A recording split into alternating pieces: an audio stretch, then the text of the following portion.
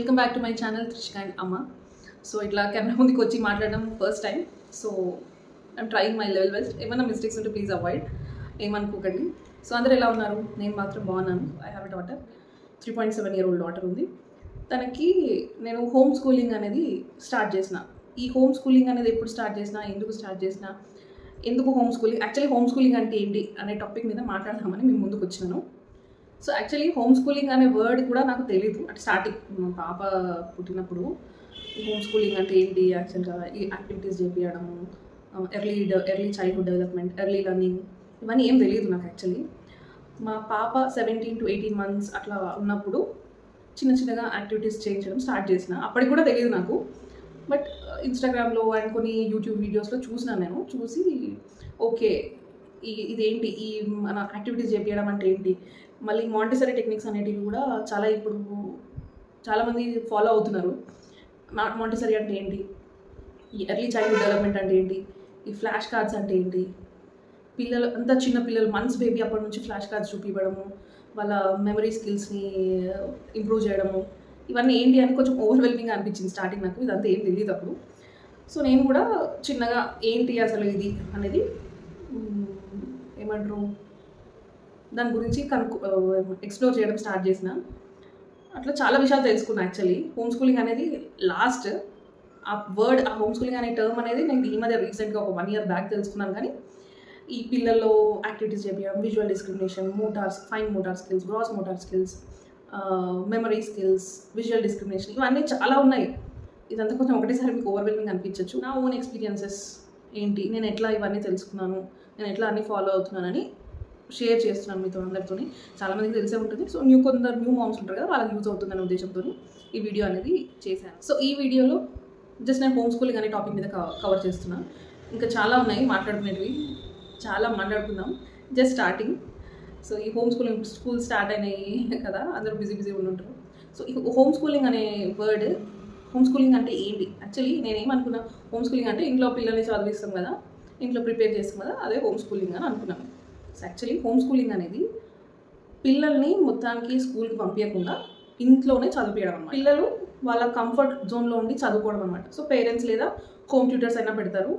So అట్లా under parents or home tutor guidance వాళ్ళ comfort జోన్లో ఉండి చదువుకోవడమే హోమ్ స్కూలింగ్ హోమ్ స్కూలింగ్ అనేది లీగల్ కొన్ని కంట్రీస్లో చాలా కంట్రీస్లో లీగల్ అయ్యి లీగల్ టేక్ పర్మిషన్ పర్మిషన్ తీసుకొని we can home school our child and నార్మల్గా అందరితో పాటే ఎగ్జామ్స్ రాయొచ్చు అనమాట సో ఇండియాలో కూడా కొన్ని కొన్ని సిటీస్లో ఆఫ్టర్ కోవిడ్ ఇండియాలో కూడా స్టార్ట్ అయిందని స్టార్ట్ అయింది అని విన్నాను. నాకు పర్ఫెక్ట్ డీటెయిల్స్ కంప్లీట్ డీటెయిల్స్ తెలియదు అంత డీటెయిల్స్ వెళ్ళట్లేదు. బట్ ఇండియాలో కూడా హోమ్ స్కూలింగ్ అనేది లీగల్ అని తెలుసుకున్నా ఈ మధ్య రీసెంట్గా so national institute of open schooling అనే ఎన్ఐఓఎస్ అండ్ ఐజీసిఎస్సి వీళ్ళు హోమ్ స్కూలింగ్ అనే క్రైటీరియా హోమ్ స్కూలింగ్ అనే ప్యాటర్న్ ఫాలో అవుతున్నారు అనమాట సో ఈ బోర్డ్ ద్వారా we can take permission and we can home school our child actually so ఏ ఏ స్టేట్స్లో ఉన్నాయి అవన్నీ నాకు ఇంకా కరెక్ట్గా తెలియదు సో ఎలాంటి ప్రెషర్ ఉండదు.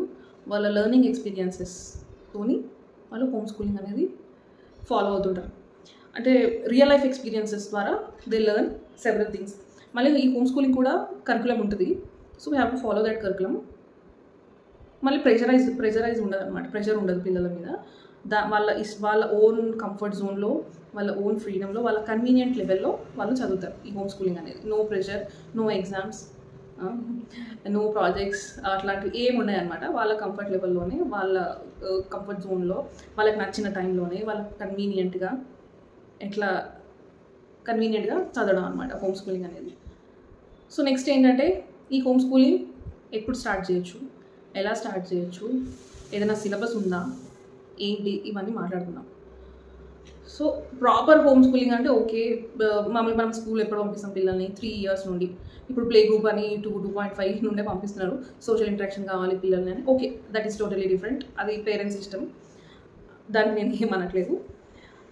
నేను పర్సనల్గా ఏంటంటే కావాలని నేను స్కూల్ ఈ ఇయర్ జాయిన్ చేసిన మా పాపని స్కూల్లో షీస్ త్రీ పాయింట్ సెవెన్ నా ఇప్పుడు నుండి ఏంటి స్కూల్ ఎట్లా నేను హోమ్ స్కూలింగ్ చే- చేపిస్తున్నా కదా. సో మెల్లగా పంపిద్దాం అనేసి మేము లేట్గా జాయిన్ చేసాం యాక్చువల్లీ స్కూల్లో అప్పటికే ఇంకా జాయిన్ చేయలేదా మీ పాపని స్కూల్లో జాయిన్ చేయాల్సింది కదా అట్లా అన్నారు. బట్ ఓకే ఒక స్మైల్ ఇచ్చి నేను వదిలేసిన. ఎవరి ఇంట్రెస్ట్ వాళ్ళది? నేను ఎవరిని తప్పు అనట్లేదు. వాళ్ళ ఎవరి ఎవరి పర్సనల్ చాయిస్ వాళ్ళది. We have to respect each others choice అంతే. So okay so home schooling అనేది ఎప్పుడు స్టార్ట్ చేయొచ్చు అంటే ఈ రెగ్యులర్ స్కూల్స్తో ఈక్వల్గా అంటే త్రీ నుంచి త్రీ పాయింట్ ఫైవ్ నర్సరీ ఎప్పుడు స్టార్ట్ అవుతుంది. అట్లా అప్పుడు నుంచి ఫాలో అవుతుంది. అలా కాకుండా ఎర్లీ చైల్డ్ డెవలప్మెంట్ అనేది ఒక టాపిక్ అది సెపరేట్ టాపిక్ మళ్ళీ మాట్లాడుకుందాం.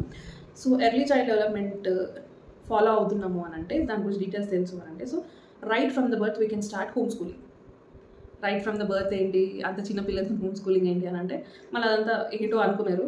ఏం లేదు. జస్ట్ ఎప్పటి నుంచి స్టార్ట్ చేసారంటే చైల్డ్ పుట్టినప్పటి నుంచి we can start home schooling అట్లా అని పుట్టగానే ఇది అది చేయాలి ఇది చేయాలి ఇది ఫాలో అయిపోవాలి అది ఫాలో అయిపోవాలి అని మళ్ళీ అట్లా ఆగమాగం కావద్దు. స్లోగా చైల్డ్ ఇంట్రెస్ట్ని అంటే పుట్టగానే చైల్డ్ ఇంట్రెస్ట్ ఏం తెలుస్తుంది అని కూడా డౌట్ రావచ్చు. ఫస్ట్ మనం నేర్పించాం మనం ఏదైతే నేర్పిద్దాం అనుకుంటున్నామో మనం ఏదైతే ఫాలో అవుదాం అనుకుంటున్నామో అది ఫాలో అయిదాం పిల్లలకి. వాళ్ళు పెరుగుతున్న కొద్దీ వాళ్ళ ఇంట్రెస్ట్ అనేది మనకు తెలుస్తుంది. సో దాన్ని బట్టి మనం యాక్టివిటీస్ చేపించడము ఎందులో ఇంట్రెస్ట్ ఉందో దాని రిలేటెడ్ మనం ఇంకా కొంచెం ఎక్కువ ఇంట్రెస్ట్ చూపించి దాని మీద ఎక్కువ ఫోకస్ చేయడం అనేది జరుగుతుంది. సో అది నార్మల్గా రొటీన్గా జరిగేది. సో రూల్స్ ఏమైనా ఉన్నాయా? సిలబస్ ఏమైనా ఉందా? మెటీరియల్స్ ఇవన్నీ ఏంటి? సో ఇదనే ఇది అంతా నెక్స్ట్ టాపిక్ అనమాట అంటే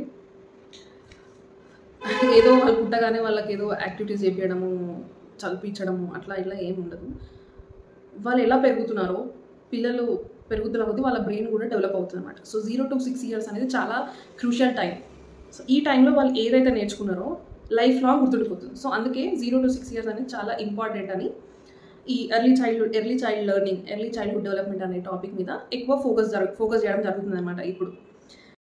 So proper home schooling one year నుంచి స్టార్ట్ చేద్దాం అనుకోండి ఫర్ సపోజ్. వాళ్ళు మంచిగా కూర్చోవడం మంచి పట్టుకొని ఆడవడం కూర్చోవడము వాళ్ళ హ్యాండ్స్ గ్రిప్ రావడము ఇవన్నీ వచ్చినాక వన్స్ ఇదంతా చేస్తున్నారు వాళ్ళనంటే వన్ ఇయర్ నుంచి we can home school our child so ఏంటి ఏంటి హోమ్ స్కూలింగ్ వన్ ఇయర్కి ఏమేమి చేయొచ్చు?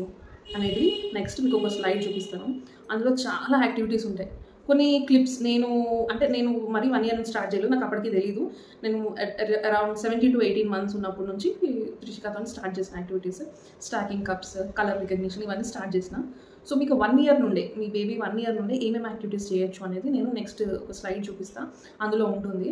చాలా యాక్టివిటీస్ ఉంటాయి. అవి నేను జస్ట్ నాకు గుర్తొచ్చినవి నేను మీతో షేర్ చేసిన. ఇంకా చాలా ఉంటాయి.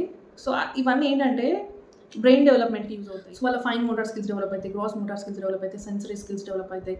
సో ఇవన్నీ డెవలప్ అవుతా ఇవన్నీ డెవలప్ అవడానికి they help they are helpful అనమాట సో ఈ ఆడుకోవడం అనేది అంటే చాలా వెరైటీస్ uh, ఏమంటారు యాక్టివిటీస్ అనేటివి చాలా రకాలుగా sensory plays like with flour with rice water ఇవన్నీ సెన్సరీ ప్లేస్ టాక్టైల్ రెస్పాన్సెస్ అనమాట sensory plays next practical life skills మనం డైలీ చేసే బ్రషింగ్ బాతింగ్ వాటరింగ్ ప్లాంట్స్ ఇవన్నీ ప్రాక్టికల్ లైఫ్ స్కిల్స్ కింద వస్తాయి అనమాట సో ఈ play based learning open ended toys hands on learning sensory plays practical life skills ఇవన్నీ ఈ హోమ్ స్కూలింగ్లో ఇన్వాల్వ్ అయి ఉన్నాయన్నమాట.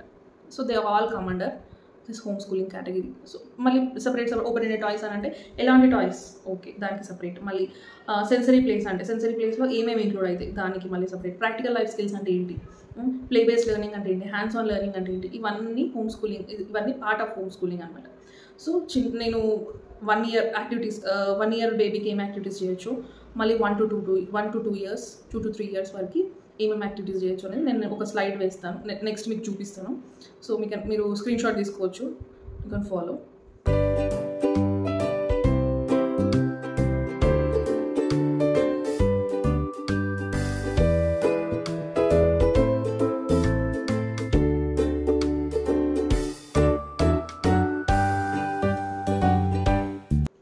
సో ఈ వీడియోలో వన్ ఇయర్ టూ ఇయర్స్ వరకు పిల్లలకి ఎలాంటి యాక్టివిటీస్ చేపించచ్చు ఎలా హోమ్ స్కూలింగ్ అనేది ఎలా ఫాలో అవ్వచ్చు అనేది మీతో షేర్ చేస్తున్నాను. సో నెక్స్ట్ వీడియోలో ఇంకా చాలా మాట్లాడుకుందాం.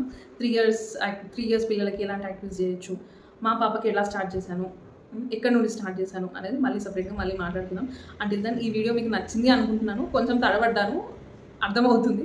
But still I manage hope అందరికీ నచ్చింది అనుకుంటున్నాను. సో మళ్ళీ కలుద్దాం.